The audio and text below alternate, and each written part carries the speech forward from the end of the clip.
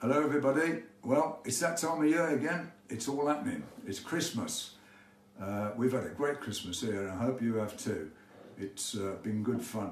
And it's been a great year as well. I've enjoyed being at home and doing other things, uh, as well as music. Next year, there'll be uh, the Forbidden album coming out, which we're uh, remixing at the moment, Mike Exeter and myself. And that's been interesting to pull that apart and at least try and get some better sounds on it, uh, as it should be.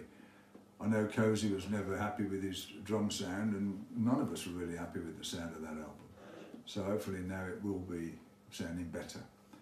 Anyway, have a great new year. Happy New Year to you all, and all the best, and we'll see you soon.